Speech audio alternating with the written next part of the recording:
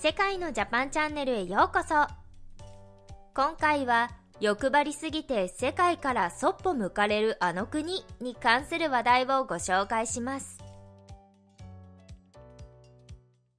美術館にある様々な芸術品や観光地などで見かける古い建物や史跡、さらに演劇や音楽、各地の伝統的な祭りなどは総称して文化財と呼ばれ大切に保存されています。日本にも絵画や彫刻、工芸品などの美術工芸品や兵庫県の姫路城、広島の厳島神社など1万件以上が登録されており、これらの中には国宝とされているものも。もちろんお隣の国、韓国も多数の文化財を所有していて、その中の一つ、直視身体溶接、通称直視は14世紀に韓国の仏像によって書かれた仏教書で、金属活字を利用して書かれた世界最古の書物とされています。その直視は20世紀、あるフランス人外交官によって古書として購入され、その後はフランス国立図書館が保管していました。そして時は流れて2021年、韓国の文化体育観光部長官がフランスを訪問し、世界最古の書物である直視の韓国での展示を要請します。しかし、フランスの文化長官は、韓国で展示すれば、直視が差し押さえを受ける可能性がある、と懸念を表明。これに対して韓国側は、差し押さえないよう韓国政府が保証する、と返しましたが、結局貸し出しは実現しませんでした。フランスが貸し出しを嫌がる理由、それは韓国が約束を守っていないことにありました。実は貸し出し展示の話は2018年にも持ち上がったのですが、その際フランスは差し押さえ免除法の立法を貸し出し条件としたのです。差し押さえ免除法とは、海外の国が所有する韓国の文化財を展示中に韓国政府による差し押さえや没収を禁止するというもので、外国政府に対して貸し出しと返却を確約し、担保するための規定。アメリカや日本、そしてフランスは外国との文化交流のために同様の放棄を置いていますが、韓国にはこのような放棄は存在していません。また、2012年に韓国人窃盗団が長崎県対馬市の観音寺から盗んだ金剛観音菩薩座像について、韓国の裁判所は文化財不法輸出入等禁止条約を無視し、日本への返還を禁じ、差し押さえ処分を下しました。要約すると、韓国のお寺がこの仏像は14世紀に日本人に略奪されたものと主張し、それを裁判所が受け入れたのです。日本は500年以上にわたって仏像を所有しているので取得時効が成立し日韓両国の民法上所有権は対馬のお寺にありますまた日韓両国が合意している文化財不法輸出入等禁止条約に盗難や略奪を受けた文化財の原則返還を義務付けていますが韓国の裁判所はこれらの国際条約も無視しました。このように国際的な取り決めを無視した判決を下す国ですから、フランスが直視を韓国で展示した場合、同じような状況になる可能性は大いにありますし、韓国政府が返還を保証したとしても、裁判所が差し押さえ処分を下せば、韓国政府にはどうしようもありません。韓国の裁判所ですからどんな無茶苦茶な裁判をするかわからないとフランス政府は判断したようですね。そんな韓国を信用していないのはフランスだけではありません。対馬仏像盗難事件への判決以降韓国の文化財を所蔵する海外の博物館や美術館も韓国への文化財の貸与に否定的な態度を見せているのだとか。この件について韓国国内からは多くのコメントが寄せられていましたのでその一部をご紹介します。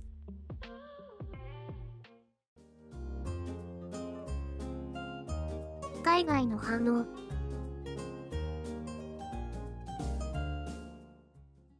これってフランスが韓国から持ち出して自分のものにしたんだよね大切な他国の文化財を持ち出して自分たちのものにするなんてなんてずうずうしい国なの？すべての文化財はその国に返すべきよ。昔フランスの高速列車 TGV と受注契約を結んだ時に直視身体溶接を譲ると約束したにもかかわらず約束を守らなかったフランス。フランスが中国に劣らずチンピラ国家であることを表しているな。略奪品で埋まったルーブル。盗賊のフランス人か。フランスはヨーロッパ最高峰らしく盗んだ世界遺産でお金を稼いでいる連中なんだ。もしこれを返還させたらルーブル博物館のほとんどの遺物を返還してほしいって大騒ぎになるから返してくれないのさ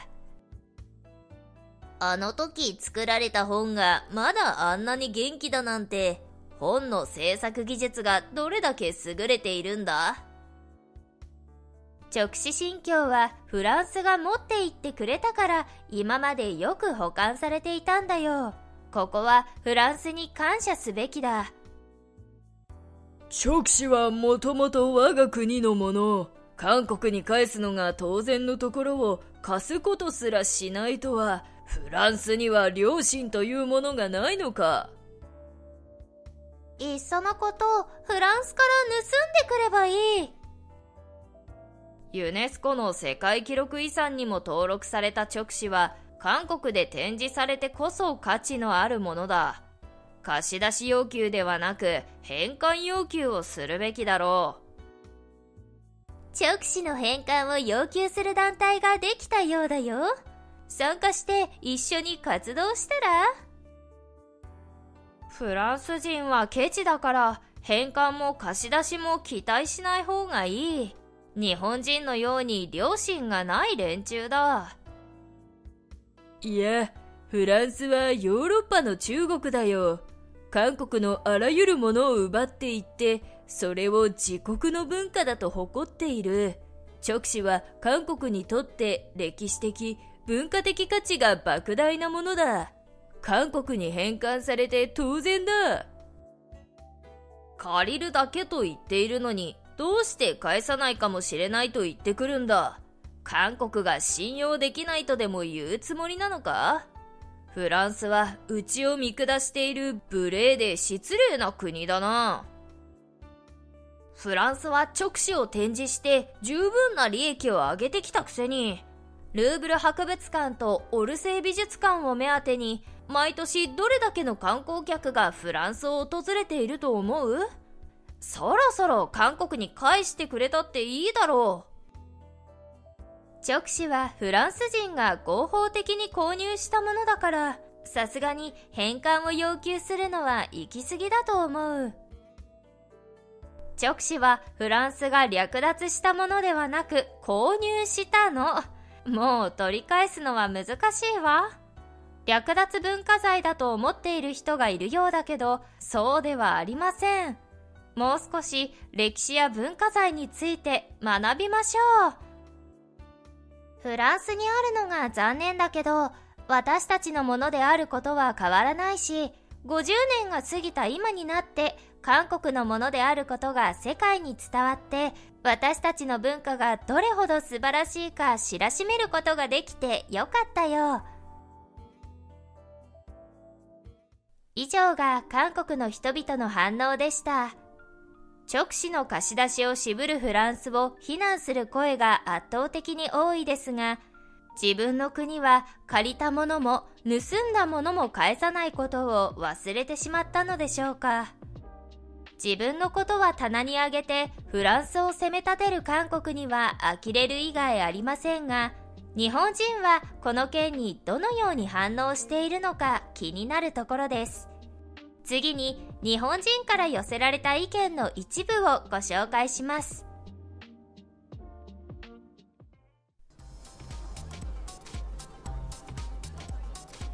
日本の反応約束を破って恩を永久的にあだで返し真実を消し去り嘘で塗り固める。そんな韓国文化が世界中に知れ渡ってきているいい流れだ。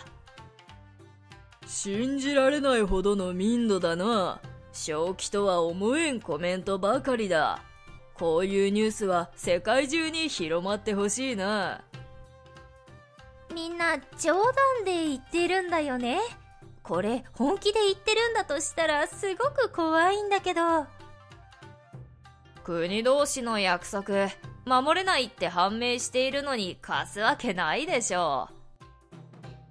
いや日本以外に実例を作って国際問題化してほしい。今がチャンス。確かに言いがかりをつけて差し押さえかねないよね。まあフランスのものを差し押さえたら日本と違って制裁されるだろうからぜひやってほしい。韓国内で差し押さえ禁止条約とやらが整備されたとしてその決まりを韓国人が守るという担保は何かあるのかな？他国が差し押さえ禁止法の制定を求めながら韓国国会が拒否している時点で仮パクする気満々じゃないか。日本にもフランスのやり方を学んでもらいたいよ。ほんと気前が良すぎだよな。韓国では本当と書いて嘘と読むらしい。借りるだけと言ってるのに我が国が返さないとでも思ってるのか？だって。韓国人の反応がすごいな。これ本気で言ってるのか？マスコミはこれまでやらかしたこと何も報道してないんだな。とりあえず日本の仏像返せよ。フランスに噛みつくのはそれからな。韓国人の考え方が怖すぎるんだけど、マシな人間はいないのか。韓国は騙してしまえば勝ちの国だから、フランスさん大正解韓国由来の書物だとしてもお金を出して譲ってもらった以上はフランスの所有物だ貸してもいいけどパクらないように法律とかでちゃんと約束を取り決めてってフランスの要望にやだねと突っぱね返したんだから貸してくれるわけないよ。差し押さえ禁止法。かっこ日本以外ってことになるのかな。何も貸し借りしないのが正解。借りればこれ見よがしに恩着せがましく物乞いしてくるぞ。本当に嫌われてるやつは自分が嫌われてるって思わないんだよな。検討するってさすが。フランスさん分かってらっしゃる。日本も見習わなくちゃ。差し押さえ禁止法があったとして当てにならないよね。貸さないだけで守れるとは思わない方がいいよ。関わりある限り普通に盗んでいくから。韓国の文化財なんか見たくもないし近づきたくもない。対馬のお寺の屋根壊したんだから犯人引き渡せ。世界最古の金属版印刷版ってまた捏造してるのかい。さっさと盗んで持ち帰れや。以上が日本の人々の反応でした。フランスが断固拒否していることに称賛の声が多いですがこれまで日本が韓国にやられてきたことを考えれば当然の反応と言えるでしょう根本的に直視の貸し出し展示はフランスの善意によって成り立つものであるということが韓国人は分かっていないんですね。このように世界から信頼されていない韓国ですが、信頼を得るためにはどうすればいいのでしょうか？そこでここからは信頼を得るために取るべき行動5つをご紹介します。1、小さな約束も必ず守る。たとえ些細なことであっても約束を破るということに変わりありません。小さな約束を破ったということはもっと大事な約束であっても破る可能性が出てきます。信頼という字の通り信じられない相手とは信頼関係を結べません。些細な約束でも必ず守ってくれるような誠実な人であれば約束のみならず様々な面で信用することができるでしょう。2行動と発言が常に一致している。信頼できる人は有言実行をしています。自分の発言したことに責任を持ち最後までやり遂げるもの。なので何でも信用して任せることができますし信頼して頼ることもできます。責任感のある人の方が信頼できるのは当然のことですね。逆に発言と行動が矛盾していると人の信用を得るのは難しくなります。発言と行動の矛盾は見方を変えれば嘘をついているのと変わらないのです。3できないことはきちんと断る。仕事でも人間関係でも誰かに頼み事をされた時にできないからと断るのは勇気がいること。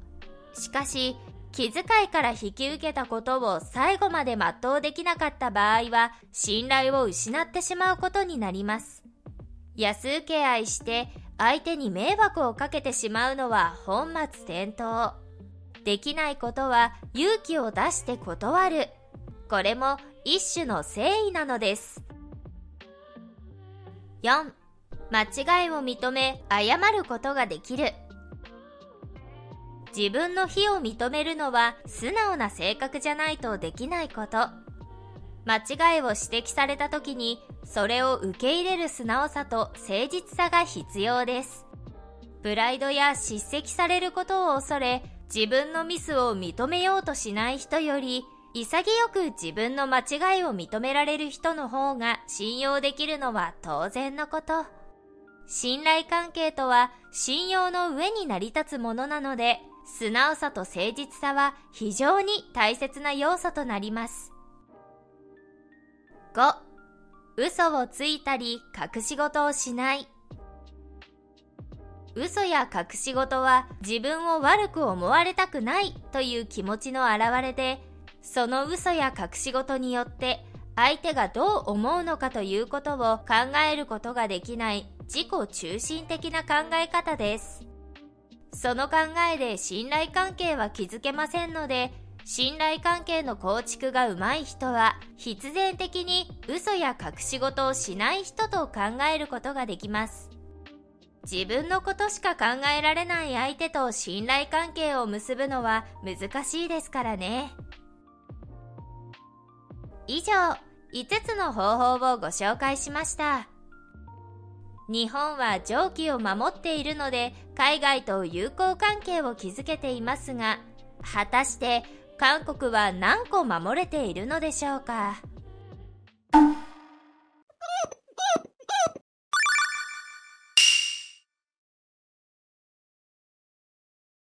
アジアの中でも急激な経済成長を見せている国ベトナム。今回はベトナムで初めて導入された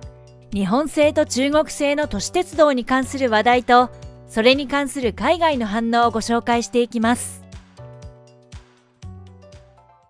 2022年12月、ベトナム南部の都市であるホーチミンで、都市鉄道1号線の試験走行開始を記念した式典が開かれました。これは、ベトナムの各都市を走る都市鉄道建設事業の一つなのですが、ベトナム初の都市鉄道開発の名のもと最大都市であるホーチミンの効果地下鉄設備一式の受注契約を結んだのは日本の日立製作所。2012年に着工し当初の完成目標は2017年とされていましたが建設が長引き現在では2023年末から2024年を開業予定としています。この年1号線の路線は全長が 19.7km 地下鉄3駅地上11駅の合計14駅。車両はアルミ合金製で塗装内装ともにブルーを基調にしており保守は引き続き日立との間で5年契約が結ばれています。運営については東京メトロが支援を行い社内規定やマニュアル作り社内研修支援も行うそうです。ベトナムでは交通量の急激な増加による渋滞や大気汚染が社会問題となっており特に国内最大の人口を抱えるホーチミンでは公共交通システムの慢性的な過負荷が以前から大きな問題になっていました。当初の予定より大幅に遅れながらも着々と開業に向けて準備を進めてきた日本製鉄道ですが実はそれ以前に首都ハノイでベトナム初の都市鉄道としてハノイメトロと呼ばれる路線が中国企業の主導によって2021年に運行を開始していたのです。実はこのベトナムの都市鉄道建設事業は最初の開業路線に関してそれぞれ南部最大の都市ホーチミンを日本企業が北部の首都ハノイを中国企業が請け負う形でスタートし国内の話題を呼んでいましたがベトナムで初の都市鉄道を開業させたのは中国企業の主導するハノイメトロとなりました。この話題に対して海外の人々からは様々な声が寄せられていましたのでその一部をご紹介します。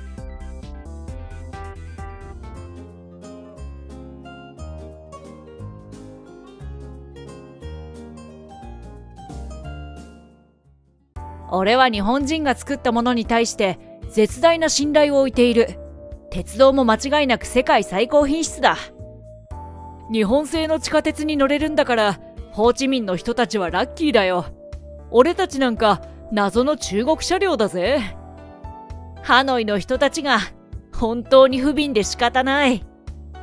とうとうベトナムにも地下鉄ができるんだね。先進国に仲間入りしたようだ。本当に嬉しすぎる。中国製は基本的に事故が起こると見ていい。早ければいいというものではない。私は事故のない安全な日本製に乗りたい。ホーチミンの方はデザインに高級感があるよね。ハノイはこれ以上中国を選ぶのをやめてほしい。ハノイ市民は恐怖に怯えているぞ。日本にインフラ整備をお願いして失敗だったことあるかな日本に任せようよ。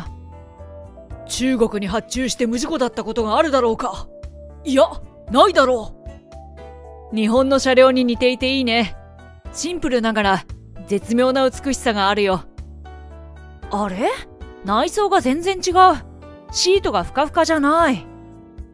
個人的には古臭いデザインに見える。一昔前の技術が使われている感じが否めない。日本製品に派手さはない。シンプルは究極の洗練である。日本製品を持っている人にはこれが理解できるはずだ。中国製品は安いけど結局は高くつくんだ。安物買いの銭失いとはまさにこのこと。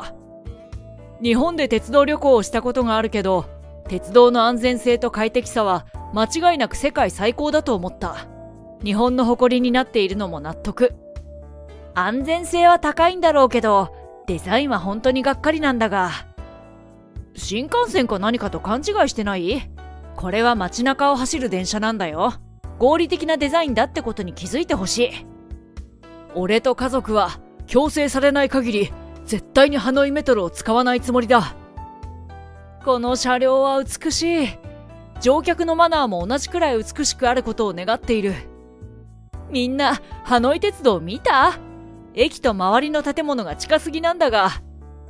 永遠に運行されないで欲しかった。わかります。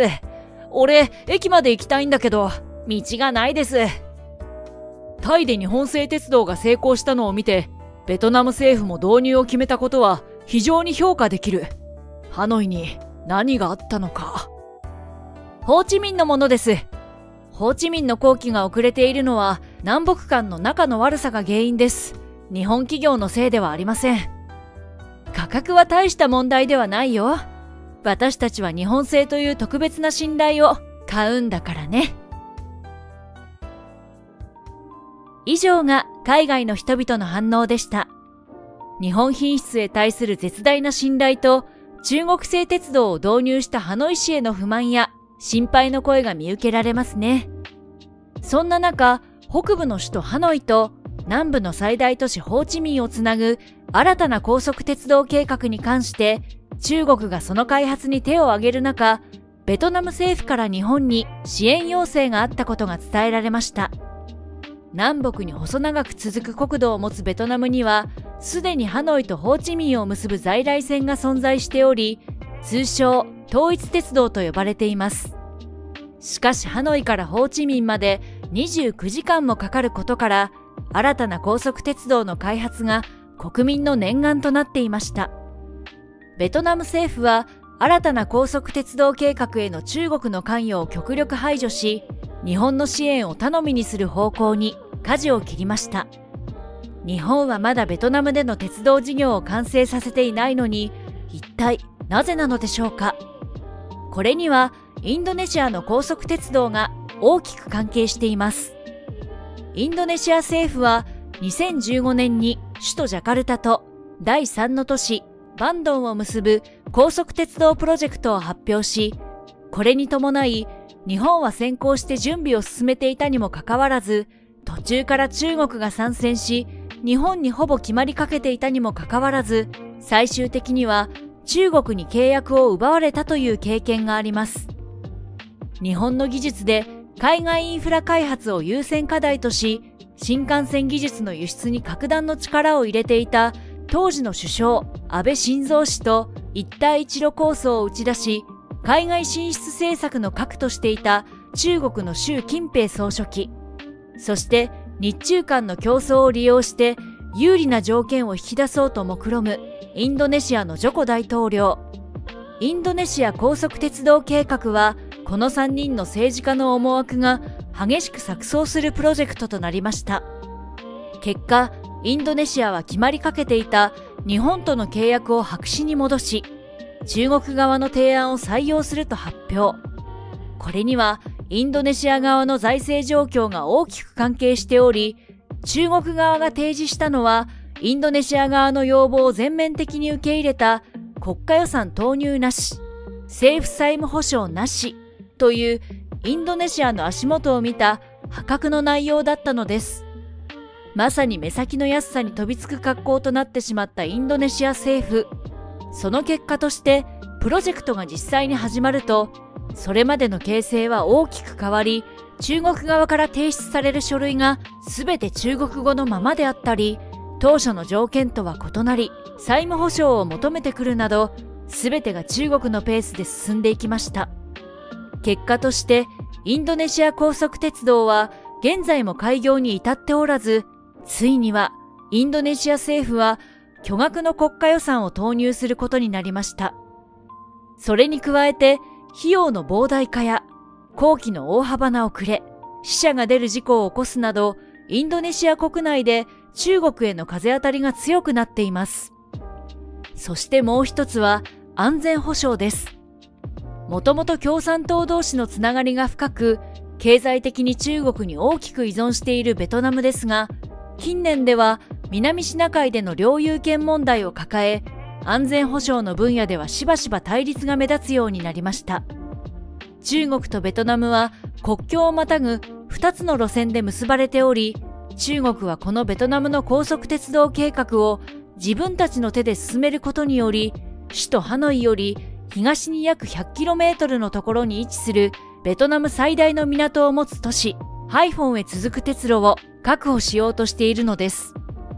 ハイフォンはベトナムにとって北部の海の要となる港で軍港でもあります。ベトナム政府は安全保障上の問題から慎重な選択を迫られています。ベトナムの高速鉄道に対しては日本政府もインドネシアでの一件を踏まえて今後熟考は必要な案件となるのは間違いありませんね。ベトナム都市鉄道建設を通じてすでに開通したハノイ市では徐々に交通渋滞や大気汚染の緩和といった効果が少しずつですが現れ始めているそうです。日本製鉄道が間もなくホーチミンで開業すればその質の高さと安全性で高い評価を勝ち取ることができるのではないでしょうか。ベトナムの都市鉄道計画はまだ始まったばかりで全路線の完成予定はなんと2050年。現在ロシアやドイツをはじめとするいくつかの国からも都市鉄道建設に関して参加の意向を表明する動きがあるそうです。ベトナム国民の夢はどの国の手によって具現化されていくのでしょうか。ベトナム政府にはしっかりと検討してもらいたいですよね。皆さんはどう思われますか？動画をご覧いただきありがとうございました。グッド評価、チャンネル登録の方もよろしくお願いします。合わせて家庭内問題を扱ったセカンドチャンネル、スカットピエンチャンネルの方もご登録いただけますと嬉しく思います。またのお越しをお待ちしております。